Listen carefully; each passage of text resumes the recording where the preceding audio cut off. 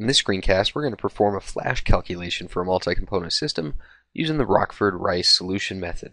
Now, a flash distillation is where we send a liquid through some kind of preheater, get it nice and hot, and that's going to get sent through some kind of valve to a lower pressure tank.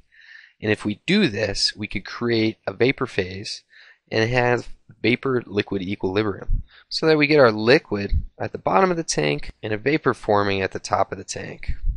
So now we have two streams. We have a vapor stream and a liquid stream. And we'll call F our feed.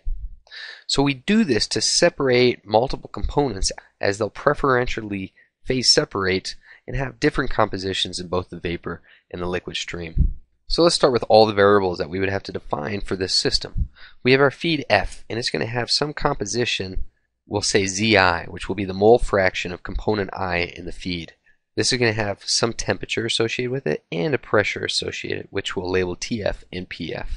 We'll also have an enthalpy associated with the feed stream.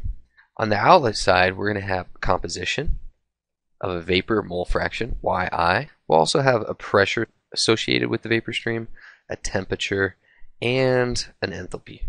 We'll do the same thing for the liquid, where xi denotes the liquid mole fraction of component i. So you can see we already have 16 variables here, and if we add multiple components, right now we have variable for one component i, we would add three more variables for each component. But because we have plenty of relationships between these variables, our degrees of freedom isn't that high. So let's let's work through some of these relationships. First and foremost, at equilibrium within our tank, the pressure of the liquid phase has to equal the pressure of the vapor phase. This is also true for the temperature. These are variables that must be equal between phases at equilibrium. Now the other thing that's true at phase equilibrium is that the phase equilibrium ratio also known as the K value for VLE systems. K for component I is equal to the mole fraction of I in the vapor phase over the mole fraction of I in the liquid phase. Now fortunately one thing that's always true is that the sum of the mole fractions of the vapor phase equals the sum of the mole fractions in the liquid phase which we know is 1. Now if we tie in our material and energy balances we do an overall balance and we know that the feed going in has to equal the liquid plus the vapor streams.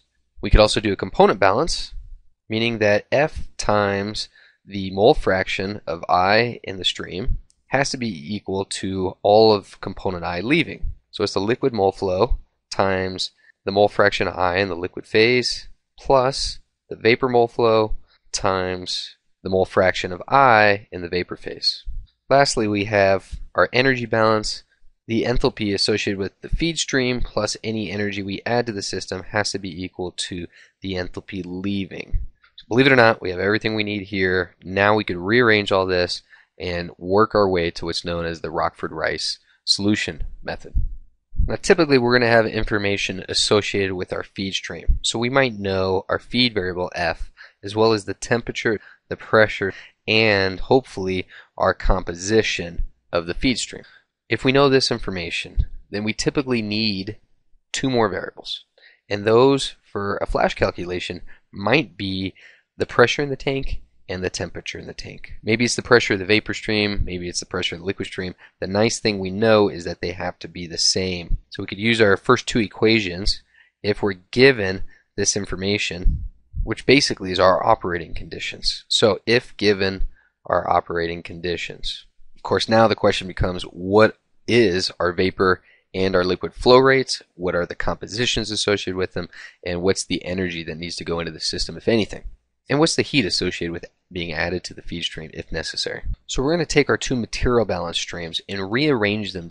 Now the first thing is to get rid of our L variable. So we set L equal to the feed minus the vapor flow and we could plug this in to our second equation. So we want y on the left side. So if we set y over here, now we could rearrange this equation and get the following. But a more convenient form is where we have the fraction v over f, which is the percent or fraction of our feed stream that's vaporized. And we typically have seen this also written as psi. So the final form of the equation for our operating line is going to be the following. The only thing differently I'm going to do is plug in our psi variable. So we're going to start with this main equation, which I'll label 1, and divide everything by xi. And remember, yi divided by xi is our ki. So you should get the following equation, which I've rearranged on the right. So now we could group terms and set equal to 0. Multiply both sides by psi. We're going to bring our mole fractions to the left side and change this to yi by introducing ki, because remember ki is yi over xi. So that's one way to get rid of our xi. And that's going to be equal to the rest of it. So we're almost there. One last thing. We're going to solve for yi. So you can see if we bring yi to the right side and take the right side and bring it to the left, then we get zi ki divided by the rest. And our xi is just equal to yi over ki. So the only thing left to do is apply the equation above that we set for our mole fractions, but rearrange it such that the sum of the vapor mole fractions minus the sum of the liquid mole fractions has to be equal to zero. So if we do that, it's going to look like the following. And we can combine these terms into one summation, except you might see this numerator written just a little bit differently just distributing a negative sign on both sides. So what's this mean? Say we're given a flash separation problem. The first thing we do, if we're given the temperature of the tank and the pressure of the tank, then we know we could look up the K values at a given temperature and pressure for our components. Using our K values and our composition of the feed, we plug that in and we iteratively solve for psi such that we equate all of the components to zero. The rest of it falls in place. Once we have psi, we know psi is equal to V over F. So F times psi gives us our vapor stream. F minus our vapor stream gives us our liquid stream. We go back to our Y and X mole fractions. We solve those using the information we've already found. And last thing we do is solve our energy balance. Figure out what is our heat that we're adding to our system in the preheater. Since we know the compositions and our mass flow rates, we can figure out the enthalpies associated with each stream and calculate Q. So right here's the main method for solving a flash tank separation for multiple components. Now, before getting neck deep in this tedious solution, which highly recommended you should use some kind of software solver to do this kind of work, uh, it's important to check to see if there's a valid root for the equation such that our psi falls in between 0 and 1. Now our first sanity check is to check all the K values for each of the components.